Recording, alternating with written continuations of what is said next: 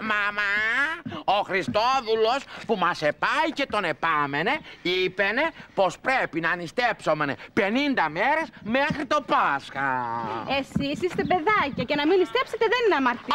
Όχι, εμείς θα νηστέψομενε. Γιατί ό,τι πει ο Χριστόδουλος το κάνομενε. Ε, μπούμπι, νηστέψομενε. Και δεν μου λες μωρέ μαμά, πρέπει να νηστέψομενε και στο σεξ, ε; Και βέβαια και στο σεξ. Α, Όχι στο σεξ, όχι στο σεξ.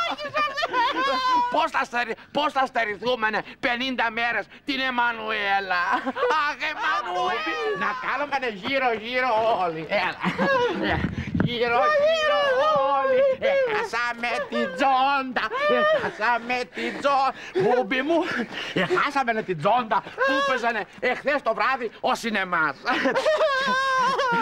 Και κατές μπούμπι, πώς την ελέγανε, ε; Εμμανουέλα η Κορπατζού. Κορπατσού! Μπούμπι, μπούμπι, ανάθεμα τη, την ιστία. Αχ, αχ, Χριστόδουλε, να μας έκαμες.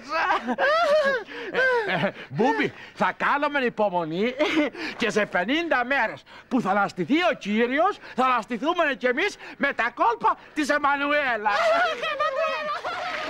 Μαμά, δεν μου λες μαμά, εσύ δεν είπες πως πρέπει να νηστέψουμε και στο σεξ, ε; Σωστό είναι τούτο, ναι. Ε, το σωστό, ναι. Και δεν μου λες μαμά, γιάντα ο προχθές δεν επήγες στην εκκλησία στις χαιρετισμούς, ε; Γιάντα λέει γιατί ήμουν κουρασμένη; Α, κι αφού σου είναι κουρασμένη, γιάντα εκκυλιούσαστονε με τον μπαμπά απάνω στο κρεβάτι, ε!